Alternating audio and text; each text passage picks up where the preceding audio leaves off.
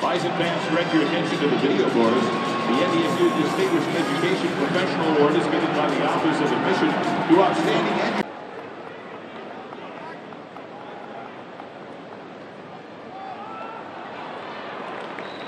Crockett, the ball carrier.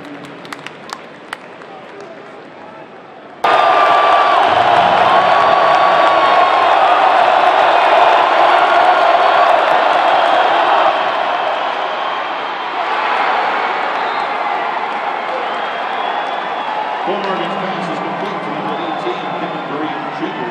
Touchdown, Northern Iowa.